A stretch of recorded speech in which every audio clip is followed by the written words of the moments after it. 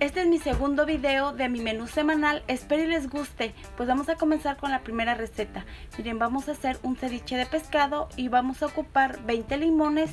Yo aquí estoy utilizando dos tipos de filete de pescado, uno que se llama Magi, que me lo recomendó una amiga, y este que es tilapia. Los dos son muy buenos para este tipo de ceviche. Miren, lo vamos a descongelar y vamos a dejar a que se escurra muy bien. Y los limones los vamos a cortar y exprimir en un tazón bastante jugo de limón, ¿ok? Miren, ya los filetes los vas a cortar del tamaño.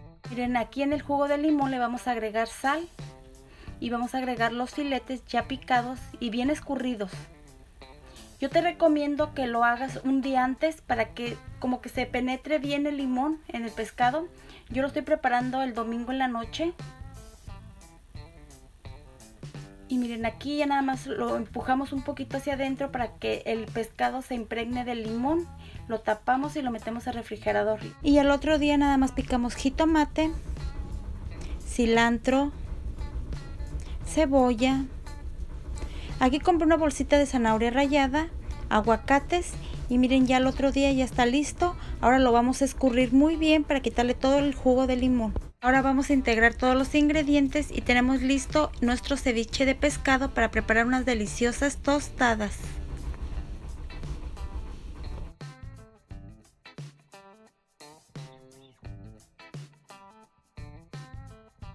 Vamos a preparar la receta del martes.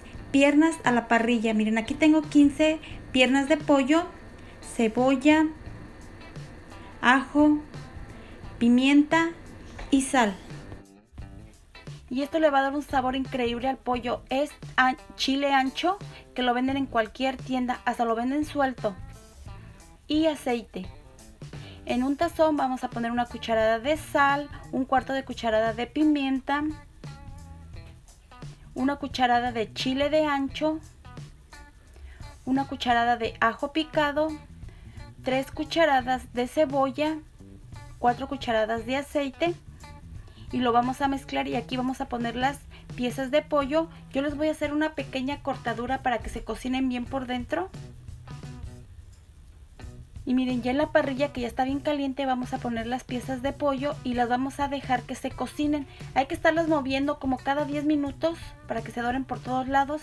Duraron 50 minutos. Estos son los ingredientes para hacer el espagueti. Miren, vamos a ocupar 300 gramos de espagueti, crema, la mitad de un queso, también vamos a ocupar queso mozzarella, dos cucharadas de cebolla, una cucharada o un diente más bien de ajo, pimienta y este queso, esto es opcional, lo tenía en mi refrigerador y lo quise utilizar en este espagueti, pero si tú no lo tienes no se lo pongas. Miren, vamos empezando este, a cocinar la pasta. En una olla con agua vamos a poner sal y vamos a dejar a que empiece a hervir. Mientras tanto, en la licuadora vamos a poner la mitad del queso crema, toda la crema. Y también se me olvidó mencionar en los ingredientes, le vamos a agregar como una taza de leche. Y esto lo vamos a licuar.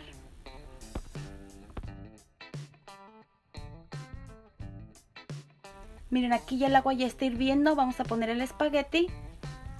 Y luego, luego muévele para que no se pegue la pasta. Y hay que dejarla cocinar según las instrucciones.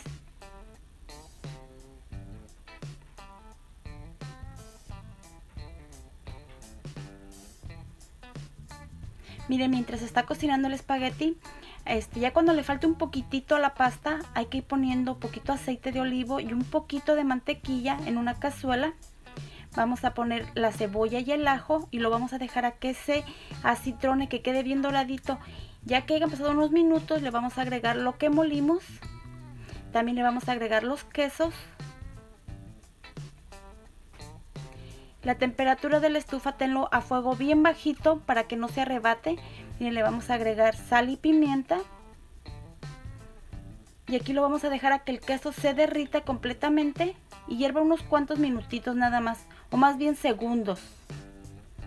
Miren, ya también ya la pasta ya está lista, entonces se la vamos a agregar a la crema que preparamos.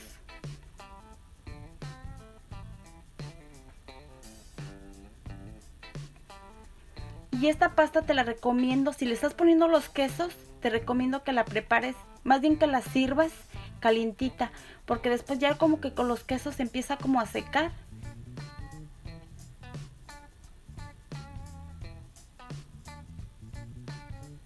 Miren, ya está lista. También ya las piernas de pollo ya están listas para servir. Y tenemos otra comida lista para otro día de preparar.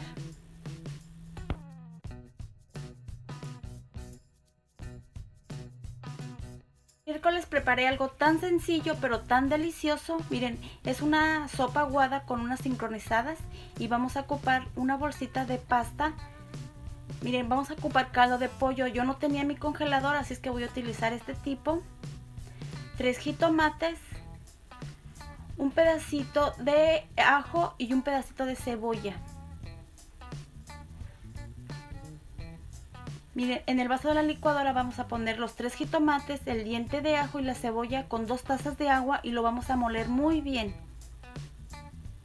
Y en una cazuela vamos a poner poquito aceite y vamos a empezar a dorar la pasta. Yo estoy utilizando fideo y la recomendación para que no se te queme es que le pongas a la temperatura de la estufa a fuego bajito tiene que quedar bien doradita y no le dejes de mover para que no se dore de unas partes y otras no. Miren, ya que la pasta está doradita, le vamos a poner el jitomate. Si crees que no se molió bien el jitomate, ponlo a colar, o sea, cuélalo. Le vamos a agregar el caldo de pollo.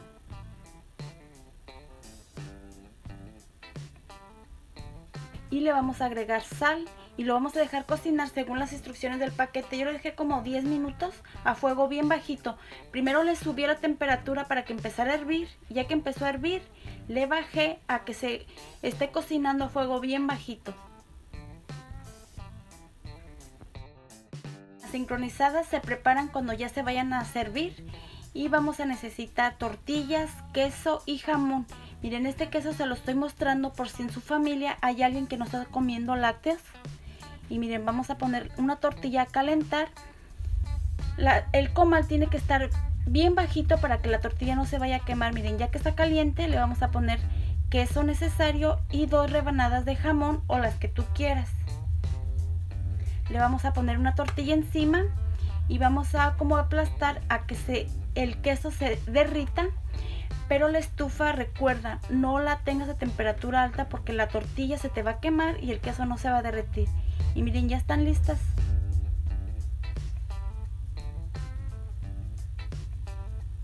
Aquí las vamos a cortar.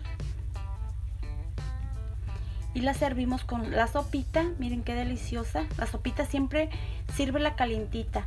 Le ponemos lechuga, crema.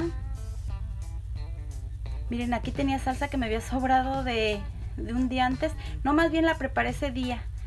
Y le vamos a poner aquí su jitomatito y unas rebanadas de aguacate. Y está lista otra receta para otro día. Vieron qué fácil son ahora vamos con el día jueves. El día jueves preparamos un pozole blanco y vamos a ocupar una lata de maíz que ya está precocido Miren, aquí tengo un pollo que lo lavé muy bien y lo voy a poner a cocer con estos ingredientes. Esto es lo que le va a dar un sabor increíble. ¿eh? Dos varitas o tres de apio, tres zanahorias, la mitad de una cebolla, una cabeza de ajo, orégano, sal y los chiles en vinagre. Miren, estoy ocupando dos chiles en vinagre, unas zanahorias y como media taza de su caldo de pollo. Ahora lo que vamos a hacer con los granos de maíz que los vamos a escurrir muy bien y hay que enjuagarlos, hay que quitarle todo eso conservador que tiene.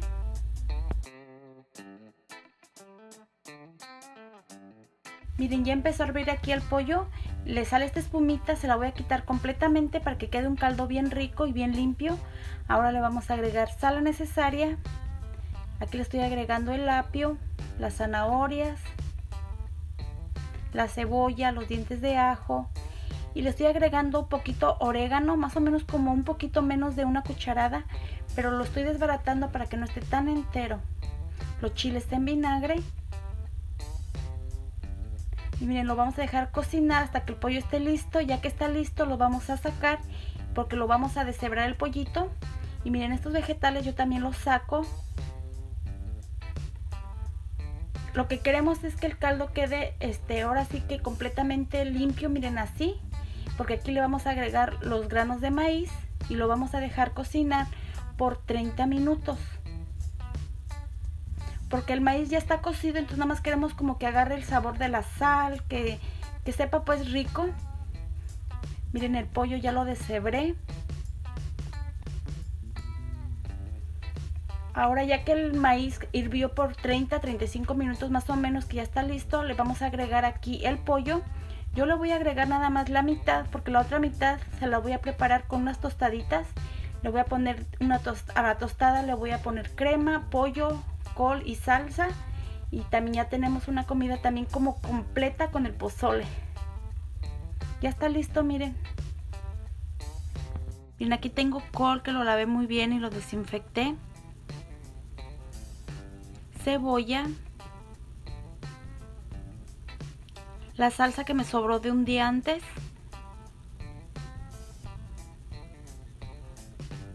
Aquí tengo chilito en polvo, esto es opcional. También la salsa es opcional, pero le da un sabor riquísimo. Miren, aquí tengo unos rábanos. Y le vas a poner poquito limón y aguacate. También puse en la mesa unas tostadas y puse también crema para que le pusieran crema y pollo. Y así es como queda este rico pozole ya preparado.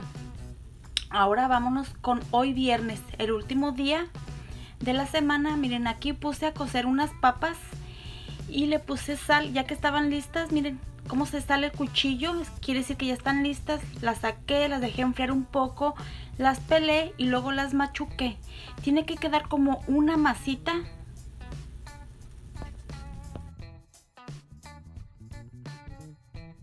utilizando seis papas medianas. Miren, aquí ya la tengo lista. Le voy a agregar sal. Y voy a empezar a aplastar, miren. Así es como debe de quedar. Ahora le vamos a poner algo de sabor riquísimo. Miren, le voy a poner crema. La que se le pone a los taquitos. La crema normal. Le voy a poner aquí unas dos cucharadas. También le puedes agregar media crema que quedan deliciosas o también le puedes agregar poquita mantequilla o poquito queso Miren, aquí ya las tortillas ya las calenté, están tibias. Y le vamos a poner un poquito de la papa en la tortilla, miren. Y hay que meterle la tortilla a medias para que no se le salga y hay que aplastar, miren. Esto como que la vamos a sellar.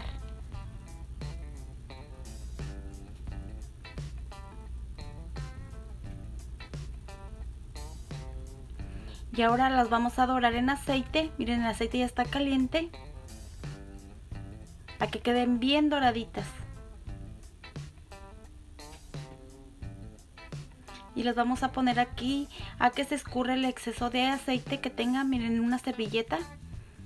Y ya nada más simplemente las preparamos. A mí me sobró col de ayer, entonces le voy a poner col rallado. Hay que aprovechar todo lo que tenemos en casa. Y le vamos a poner aquí nada más salsita. También le puedes agregar poquito de queso si quieres. Mira, estoy agregando un poquito también más de crema y ya están listas. Y hoy también preparé una sopita aguada. Y pues ya tenemos el menú de la semana bien fácil y bien rico. Pues yo te dejo con este menú. De verdad espero y te guste. Anímate a prepararlo. Y nos vemos hasta la próxima semana.